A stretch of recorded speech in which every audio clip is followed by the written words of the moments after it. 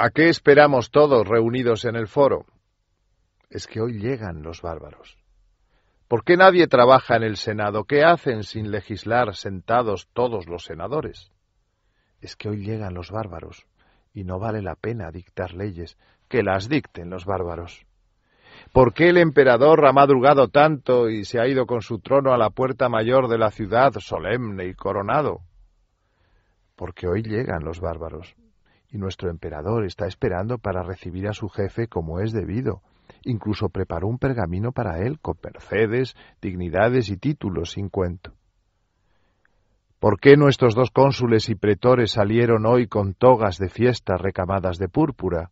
¿A qué esos brazaletes cuajados de amatistas y esos anillos con radiantes esmeraldas?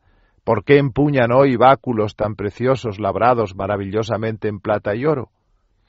Porque hoy llegan los bárbaros y esas cosas deslumbran a los bárbaros.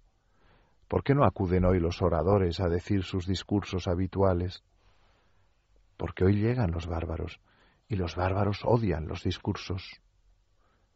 ¿Por qué se ha levantado de pronto esa inquietud y confusión? ¿Qué serios esos rostros?